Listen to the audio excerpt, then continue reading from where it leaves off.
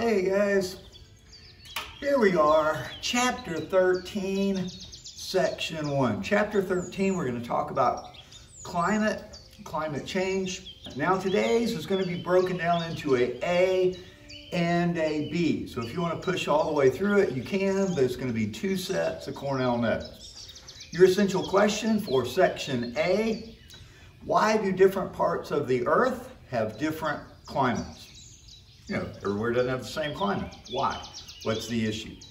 Now, climate itself is just the average weather conditions over a long period of time, at least decades. Okay, we're on 30 years or more. It's been said that climate is what you expect, but weather is what you get. You know, what's happening out there right now is weather, but what happens this time of year over a long period of time is what we refer to as climate. It's determined by a variety of factors. These are going to include latitude, the global air circulation, ocean circulation patterns, topography, are you up on a mountain, down in a valley, near the ocean, um, solar activity, as well as volcanic activity. However, of all of those things which tend to dictate what your climate's going to be, the most important of those factors, latitude. Latitude is king, or your distance from the equator. When it really comes down to it and we talk about climate, it's really going to come down to temperature and precipitation. But the biggest factor in those is going to be your latitude, where you fall. Now latitude, these are the lines that go around the globe. They're the ones that go around it circling, big at the equator and get smaller and smaller until tippy top. They are latitude. The equator is zero. Kind of look at the picture back here. And the most northerly point is going to be the North Pole, 90 degrees. So the most southerly is going to be the South Pole at 90 degrees. So between 0 and 90 north, 0 and 90 south.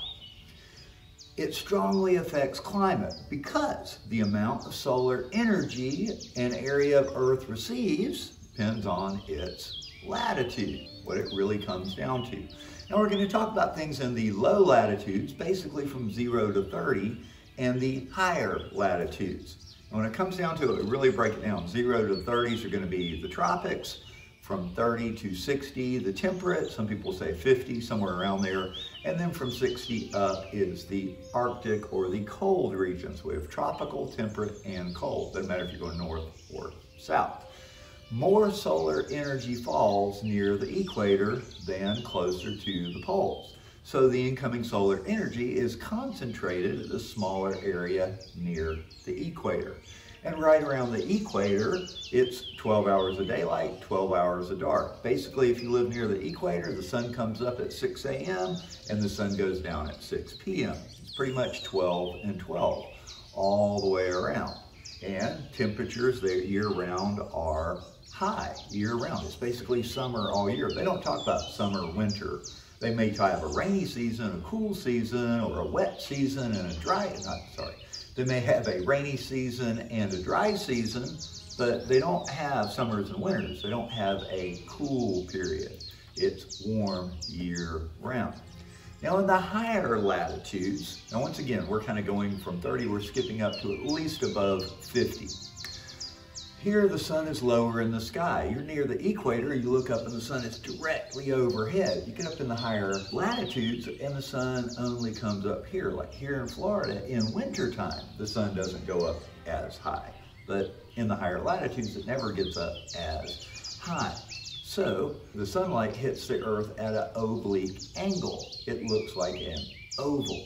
It hits more like a circle near the equator, but it's more at an oblique angle like an oval, so the light gets spread out. It's spread over a larger surface area, a circle versus an oval, you know, a circle or an oval. It's a larger space that it hits it at these higher latitudes. So the yearly average temperatures are actually much lower at the higher latitudes. They're not getting as much solar energy, not as much energy transfers into lower temperatures.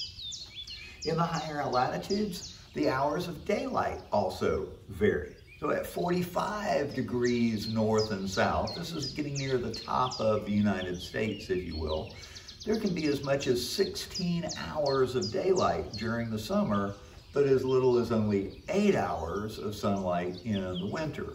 And even in Florida, we know that. In the summertime, it's sunlight, you know, the sun comes up at six and it doesn't go down until 8.30 or something.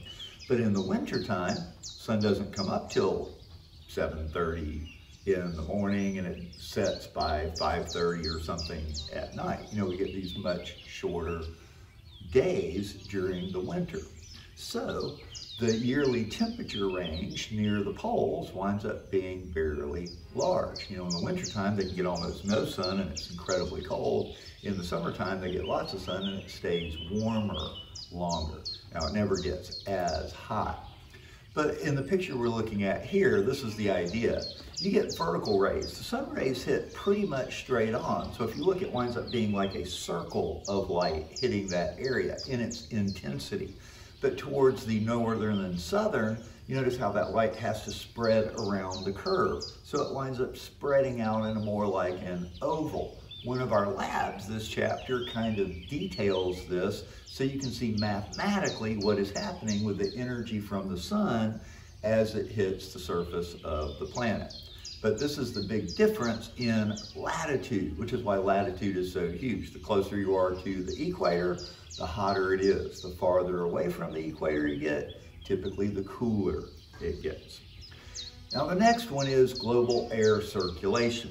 Now there are three important properties of air that illustrate how the circulation affects our climate. Number one, cold air sinks. It is denser than warm air and as it sinks, it compresses and then it begins to warm up.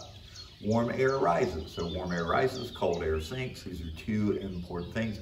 As it expands, it cools off as well. You know, because it's rising, it's getting cooler, and it begins to condense. It condenses enough and then it sinks back down. Also, warm air can hold more water vapor than cold air. These are the three factors. Warm air rises, cold air sinks, and warm air can carry more warm water or more water vapor than cold air. So as this warm air rises and moves up, it cools off, condenses, and it tends to rain. So we tend to get rain near the areas where the air is rising. Anyway, those three factors are very, very important. Now, solar energy, the sun warms the ground. In turn, it begins to warm the air above it. That warm air then rises and cool air moves in to replace it and we wind up getting a convection current and these big convection currents we call wind. So the air rises, cool air comes in to fill that gap. So down here you feel the wind. Now because the earth is rotating, and at different latitudes get different amounts of solar energy, we get these big global atmospheric circular currents. And this circulation pattern determines our precipitation patterns. So the warm air is rising, cools off, and it tends to rain there, and this creates wind. But since the Earth is spinning, we wind up getting a Coriolis effect.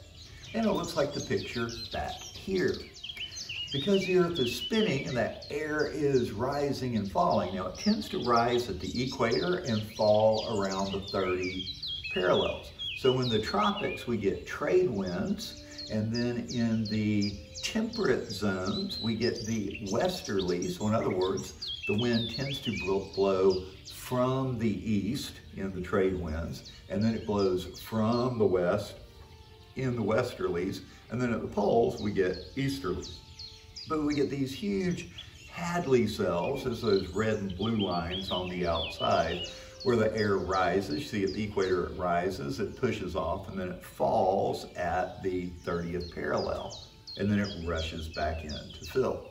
But this but these are our large global air circulation patterns. So the intense energy is striking the Earth's surface, warms, cools off, drops down, etc. So, as a result, areas near the equator tend to get large amounts of rain. Near the equator, around the ocean, it's warm, warm, moist air, but as it cools off, it rains. So it tends to rain pretty much near where the air is rising.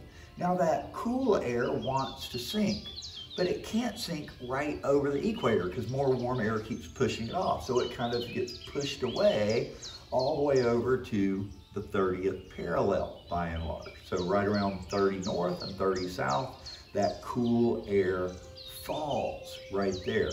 So where this air sinks, now then it begins to warm up. So this dry air moves across the surface causing water to evaporate. We tend to get very dry conditions. It tends to be warm and moist near the equator around the 30th parallel. That cool dry air is falling. It begins to warm up. Now it's warm and it begins to soak up the moisture. So we tend to get dry areas. Our deserts, by and large, tend to fall on the 30th parallel, like the Sahara Desert, or down in Australia, or even in America, our Arizona, Nevada. These tend to be near these 30th parallels because of these global wind patterns.